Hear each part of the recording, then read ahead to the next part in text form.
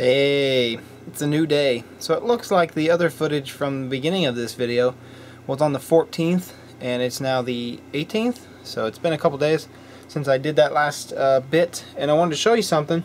Um, I went and got some Corona wire out of some printers. I actually have a couple of junk uh, like scanner copier big things and so um, HHO Info mentioned it and somebody else mentioned it.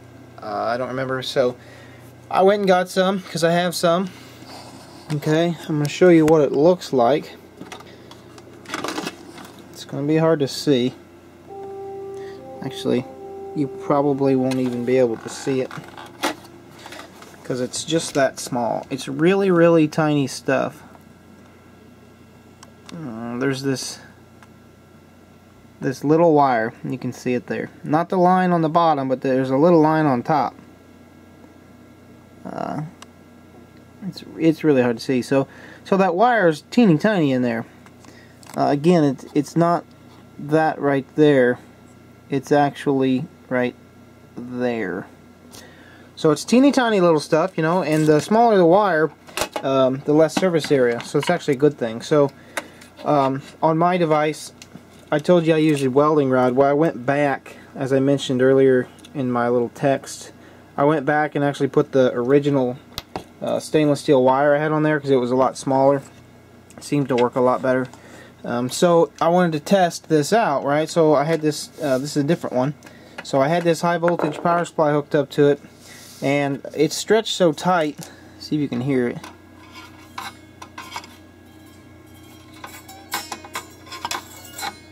Okay, it's stretched so tight it's like a musical instrument string. It's that tight. And actually, I'm thinking about using something like that if they're stainless. But here's what I got. Okay, and I decided to hook it up to this power supply that you've seen me use on on on this device. It's got quite a few amp uh, amperage amps to it. I don't know what it is actually, but it's it's quite a bit. Um, and that's actually probably a bad thing, but it's it, it's working for this. So I hooked it up to this little wire, and it you could hear it, you know, like you could hear the corona discharge, but you couldn't see it. And then it popped a few times as far as arced and then all of a sudden it just goes ping pow and it, yeah just ping pow just like that.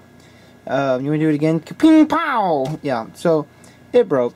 And I'm afraid if I go back and rebuild this thing again and put it um, you know if I put this little bitty tiny wire inside here in that gas gun it's just gonna pop and then I'm gonna have to redo the entire thing so what I'm to do is actually get a flyback transformer uh, from a TV and just pulse it and try to use it as a high voltage uh, device.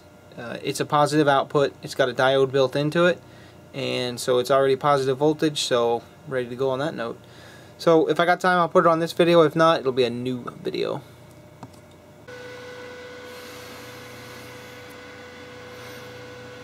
Well, anyway, so I told you I was going to try a high voltage transformer, uh, CRT flyback transformer here. So I've got the rustic frequency generator and I turned this fan on. I got it temporarily hooked up to this battery because the the problem right now that I'm having is this transformer, this flyback transformer out of a CRT TV pulls way too many amps. Um, and I've got it way over here because it was interfering with some electronics. Not very good. So I kind of wanted to show you what I got and show you that it won't work uh, the way I want it because of certain reasons. And I'm going to show you what that is. The main reason is because my other high voltage power supply right here is a constant voltage output of DC where this is a pulsing DC and actually I'm having some issues because I was I, I want to be able to pulse this. So in order to do this the way I really want to it might get a little tricky.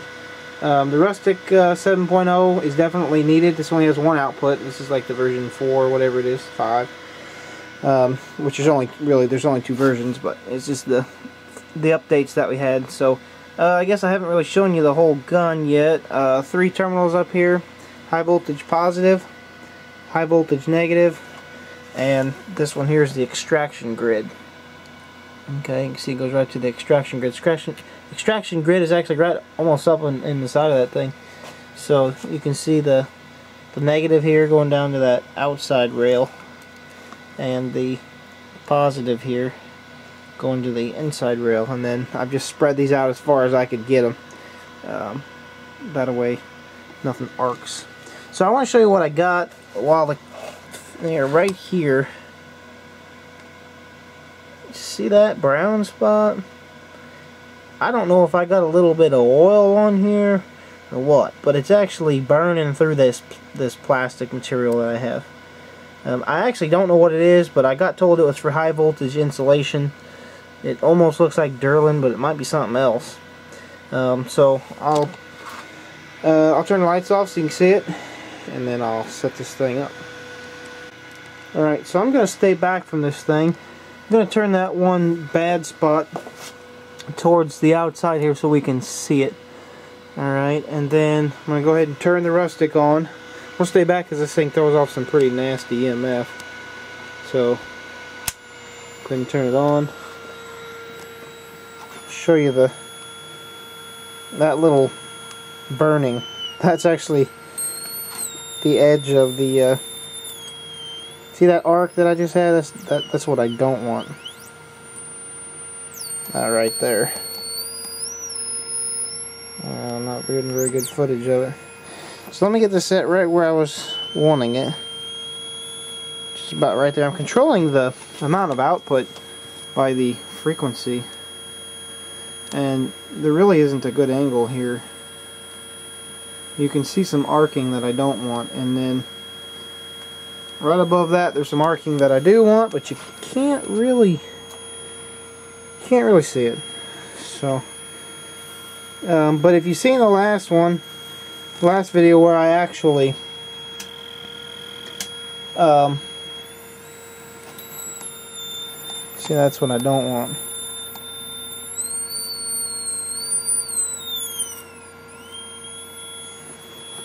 But if you've seen the last video where it's a nice Corona discharge, oh, there's that arc again. See that arc in there is what I don't want. So I got to turn the frequency down just to the point where it stops arcing, but where there's a corona effect. So there's there's a point. You just you can't see it. Alright, so I've got the uh, lights back on. You can't really see the discharge that I was trying to show you. Um, you did see it in the previous video. Um, the one where I actually used this bigger power supply. And there's a really nice corona discharge field. So it looks like a, a constant positive DC is going to be my best option for ionizing. Now, uh, when you talk, when you start talking about the electron extraction grid and the LEDs, you actually pulse the um, one device and then and then the LEDs and the extraction grid and I got to figure out the exact area and timing and all that. I don't have it memorized right now. I did a lot of a lot of that research a little while back and I got to go back through a few of it. I wasn't really sure then either to the T. So kind of just informing you what the deal is here um, and you can see down here how it's starting to burn. I, I really think I got some oil on there and it's kind of tracing that oil and kind of burning. Because not doing it up here it's just down at the bottom. Uh, but yeah so the idea behind this thing is to pulse these at certain rates and certain frequencies. And right now with a flyback transformer it's not looking so good. Now the thing you got to remember is that originally with uh, Stan's VIC it's a it's a totally different animal and so he was actually using the resonance effect of his VIC to create what he's doing. But it's pretty much uh, DC ionization, and then he's extracting the negative electrons. Kind of go through that another time. Um, probably the end of this uh, gas gun series, and I'll be doing some digging, researching, and work, and come back with more information for you. Um, the rustic's working really well though. Got the fan on because this uh, I mean, these wires are getting hot, hot. It's draining that battery down to nothing. So, I might actually hook this back up to the high voltage supply real quick and just show you the difference. And then we'll continue on. Alright, so I did really quickly want to show you the power I'm playing with. Um, to let you know that's what kind of, you know, power I'm playing with here. It's quite a bit of uh, arcage and, you know, I'm really looking for a nice corona effect, so about right there, I know it's hard to see, you can see See those fine lines before it arcs? That's the corona discharge I'm looking for. Right there. That's actually not an arc. That's an arc. Okay, and it's right there I can smell that ozone like mad. And then once you start arcing, it's not quite as heavy, but you can definitely still smell it. But I just want the discharge.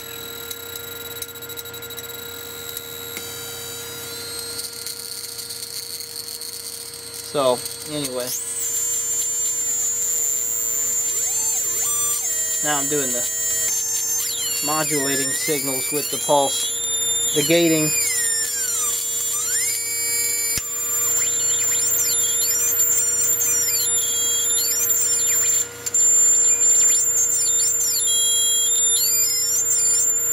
And shutting her down. She's starting to smoke, baby.